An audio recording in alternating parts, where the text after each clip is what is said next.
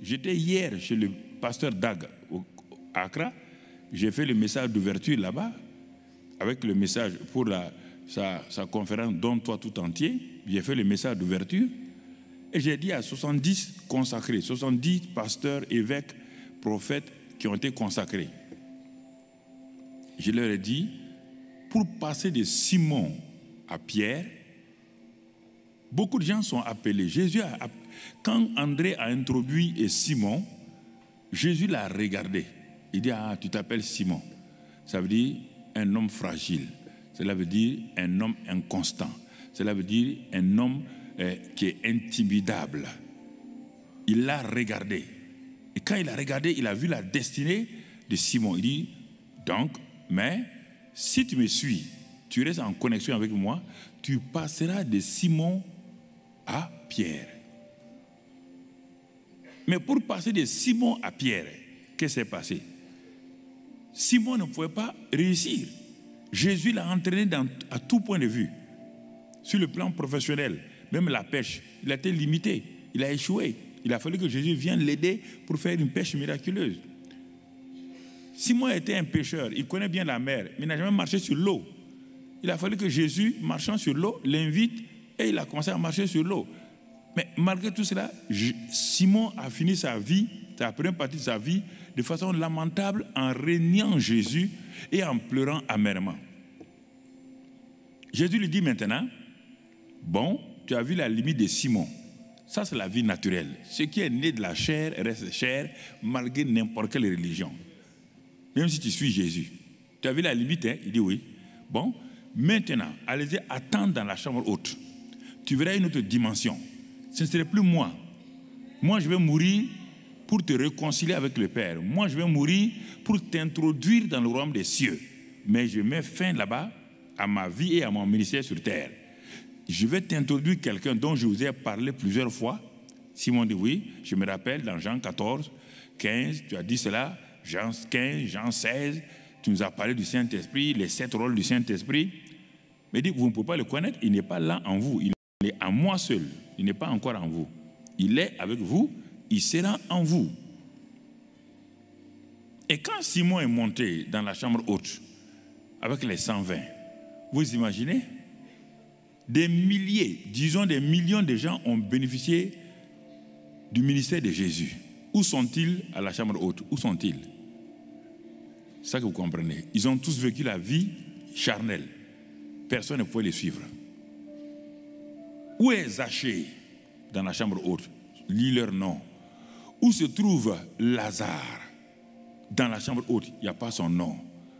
Dis-moi le nom de Marie, Marie de Magdala. Dis-moi tous ces gens-là. Où sont-ils dans la chambre haute? Où sont tous ces hommes-là? Qui ont mangé du pain, qui ont vu des multiplications Parce que quelque chose de spécial doit commencer avec eux ce sont ceux qui avaient faim et soif. Sur des millions de gens, des milliers de gens disant, se disant disciples de Jésus, il y avait 120 seulement qui avaient faim et soif de ce que Jésus avait dit, que le Saint-Esprit va venir. Il faut l'attendre. Des millions de chrétiens dans le monde s'asseyent. Ils font beaucoup de choses. C'est bien. Mais ceux qui ont vraiment faim et soif, c'est la caractéristique du chrétien qui va aller en profondeur, qui ont vraiment faim et soif de la réalité de Dieu, sont très peu nombreux. Et c'est sur ces 120 personnes-là, ce sont ces 100 bouleverseurs qui vont être des bouleverseurs du monde. Simon est monté à la chambre haute comme Simon. Quand il descendait, il descendait comme Pierre. Comme Jésus-Christ lui-même. Il est parti au Jourdain comme le fils de Joseph comme le fils de Marie, comme le charpentier, le menuisier spécialiste de Nazareth. Quand il allait au Jourdain, il est parti.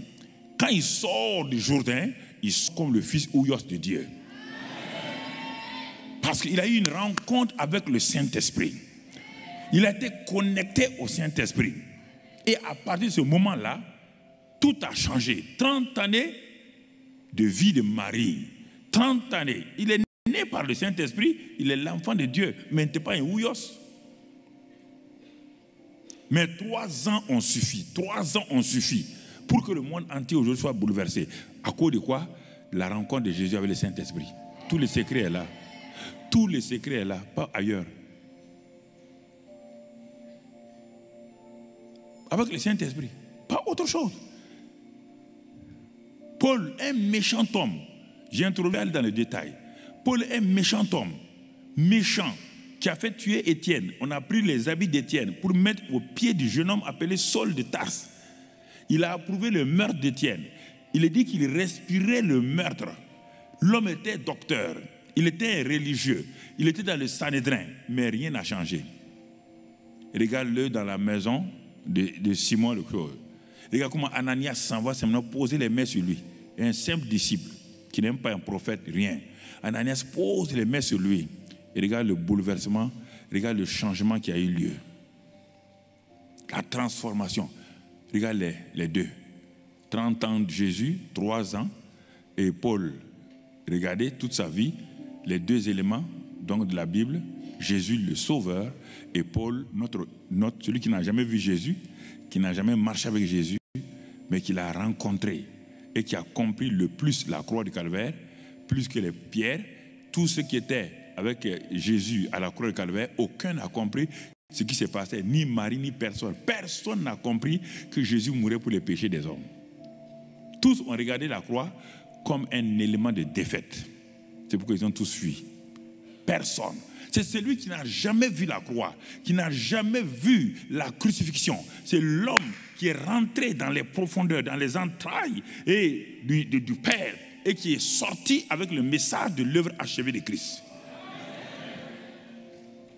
Dis-moi, enlevez Paul du Nouveau Testament, il vous reste plus entre vos mains qu'un judaïsme simplement, euh, euh, euh, un judaïsme qui a été un peu transformé. C'est fini. Il n'y a pas de christianisme sans Paul. Mais qu'est-ce qu'il a fait? C'est lui qui nous parle de la croix le plus. C'est lui qui nous révèle la vie de l'esprit. C'est lui qui nous révèle tout. Donc, à cause de cela, frères et sœurs, si nous sommes là pendant ces trois jours-là, avec cette combinaison donc d'enseignement et de prière qui vont euh, se faire, il faut ouvrir ton cœur. Et peut-être tu es venu, peut-être tu es malade, mais si euh, tu viens de tout ton cœur, et que tu laisses le Saint-Esprit agir, il n'a pas besoin de quelqu'un ici pour guérir les gens.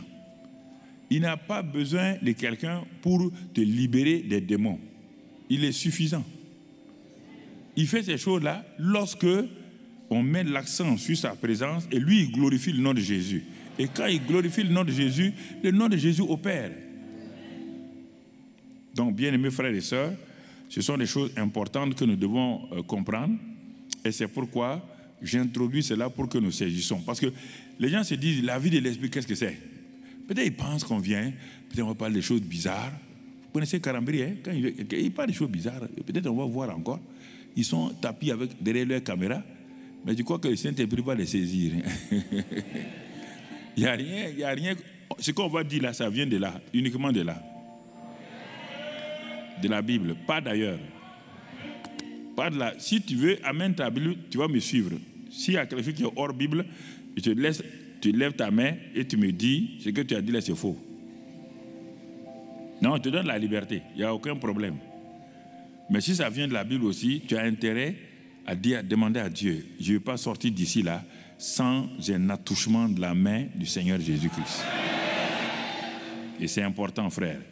Donc, pourquoi parlons-nous de la vie de l'esprit? Dans Romains 8, regardons quelques éléments. Romains 8 et au verset 5, quand nous regardons Romains 8, verset 5, il est écrit ici, ceux en effet qui vivent, qui vivent selon la chair, s'affectionnent aux choses de la, chair. Mais que, tandis que ceux qui vivent selon l'esprit s'affectionnent aux choses de l'esprit. Et l'affection de la chair, c'est la mort. Tandis que l'affection de l'esprit, c'est la vie et la paix. Car l'affection de la chair est inimitié contre Dieu parce qu'elle ne se soumet pas à la loi de Dieu et qu'elle ne peut même pas. Or, ceux qui vivent selon la chair ne sauraient plaire à Dieu, ne sauraient plaire à Dieu. Pour vous, vous ne vivez pas selon la chair, mais selon l'esprit, si du moins l'esprit de Dieu habite en vous, et que si quelqu'un n'a pas d'esprit de Christ, il ne lui appartient pas. Et si Christ est en vous, le corps, il est, il est vrai, est mort à cause du péché, mais l'esprit est vie à cause de la justice. Et si l'esprit de celui qui a ressuscité Jésus d'entre les morts habite en vous, celui qui a ressuscité Christ d'entre les morts rendra aussi la vie à vos corps mortels par son esprit qui habite en vous. Prenez ces passages simplement.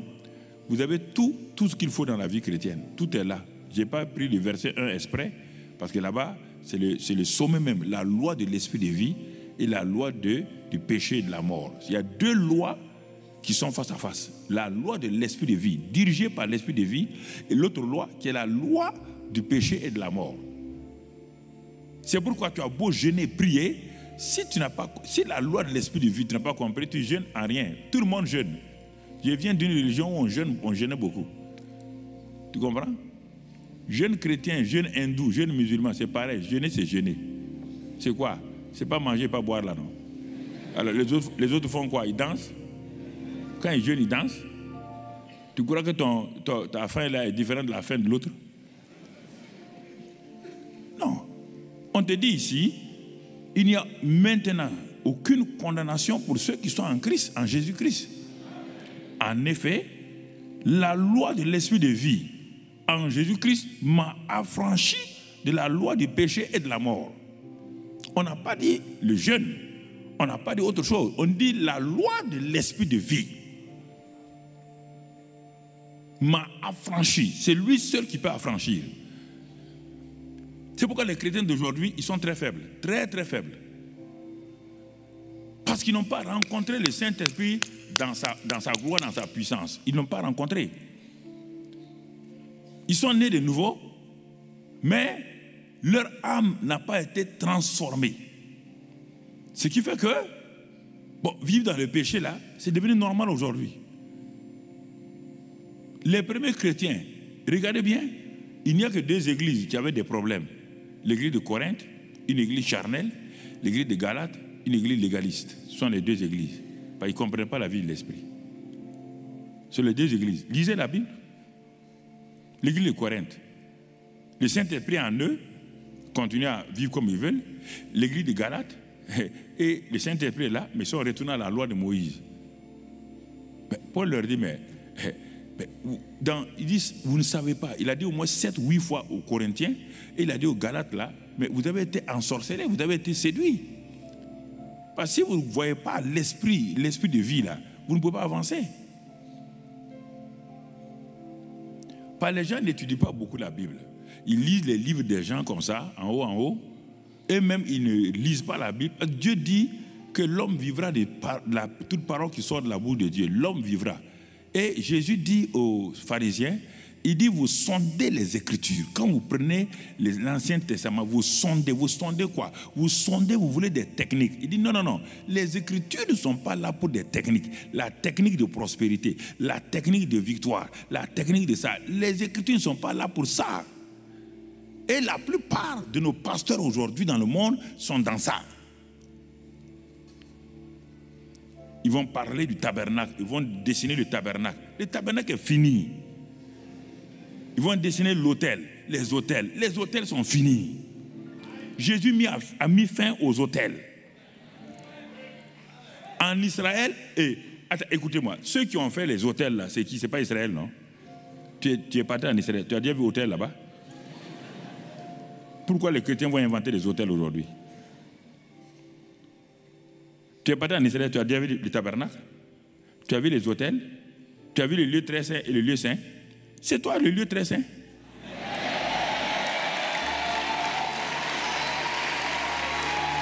Ton esprit, ton esprit, ton esprit, et c'est là où Dieu habite.